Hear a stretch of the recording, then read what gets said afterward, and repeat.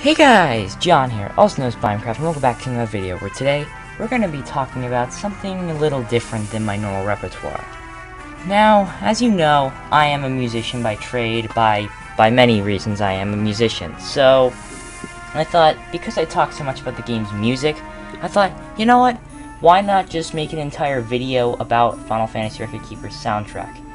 Now, there are there are two original soundtrack volumes on Spotify that you can listen to. You can also buy them on Amazon and whatnot.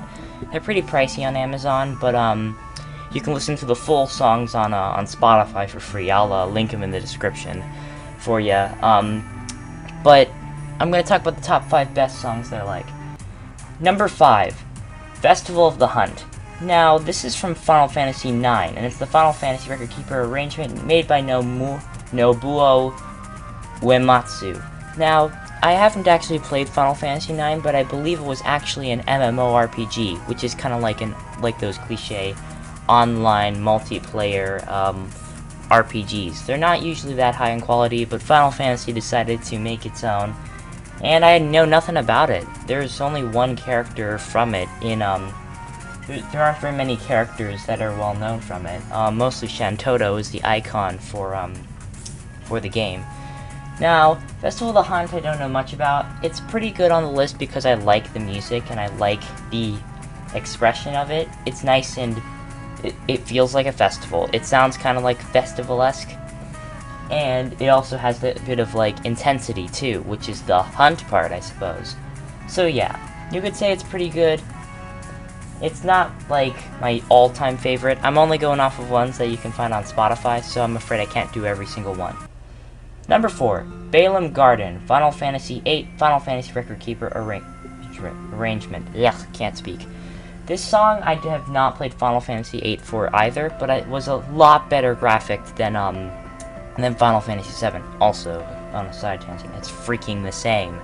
Anyway, Final Fantasy VIII has has an amazingly calming soundtrack called Balamb Garden. Now, you're part of an organiz organization called SEED, so there's the pun there. But basically, it's supposed to be somewhat of a safe haven for you as the player. It's somewhat of a moving fortress. Um, the arrangement of Balamb Garden is also made by Nobuo Uematsu. So it's an extremely calming piece. I would highly recommend that you would listen to it on your own time because it is quite, quite, quite exciting to listen to myself. It's not it's not exactly upbeat or anything. It's just nice and calm, and if you need some way to fall asleep, I would highly advise that song for it. Number 3 is Four Hearts Final Fantasy Record Keeper arrangement from Final Fantasy V. Now, you hear this one at the end of all my videos, and it's by Yuko Komiyama. Now, it's obviously a remix, it's a reimagining of the original song from Final Fantasy V. Now, the original had horrible instrumentation, despite the fact it came after Final Fantasy IV, which had amazing instrumentation, by the way. But basically, it kind of had a nice little epic feeling to it. Of course, there is another song on li this list that that kind of gives the feel feeling a bit better, and we're coming up to that in a sec. The second best song, I would say, is Eternal Wind Final Fantasy III, Final Fantasy Record Keeper version arrangement by Nobuo Uematsu. This guy, nice. Now, it has has a similar instrumentation as the as the remakes Final Fantasy III Eternal Wind had. However, it adds a little more of adventure to it, a little more balance, a little more of we're on an epic journey and we're gonna beat all evil kind of feeling. And that's why I really like it, because it just is the right amount of you can hear the melancholic tones and you can also hear the upbeat epic journey it's all about the journey, and that's kind of what the song is. It just has its ups and downs, just like a real journey does. So it's really good at, at expressing how Final Fantasy III is. The, the calm before a storm and everything in between. That's why I really like it, but it isn't my favorite. There's one more song that takes the cake, and no, it's not Journey of Memory. If you guessed Final Fantasy main theme, Final Fantasy Record Keeper version arrangement, you are correct. Great job. I have said before in a previous video that it is my favorite song from Final Fantasy Record Keeper, and that is a true statement through and through.